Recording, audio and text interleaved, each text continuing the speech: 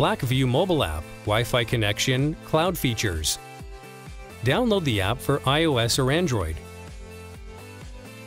Turn on the Wi-Fi via the button on the right side. With the Wi-Fi LED lit, First connect to your BlackVue from your phone's Wi-Fi settings menu. Select your BlackVue from the list, and enter the BlackVue password.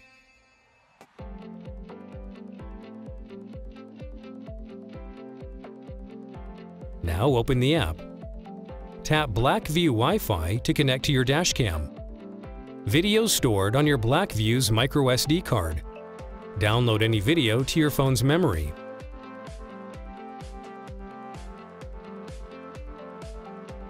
See what your BlackVue is recording and directly adjust the camera for optimal angle. Access and modify the settings of your BlackVue here. All the settings of your BlackVue can be modified here. Time zone, voice alerts, speed unit, sensitivity, etc.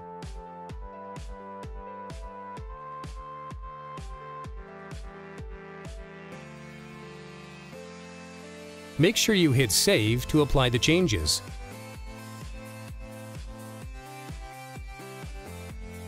In here, you can access and manage the videos saved to your phone. Tip to share videos online. Hit Share, then choose Save. Your video will now be available in your phone's photo video library.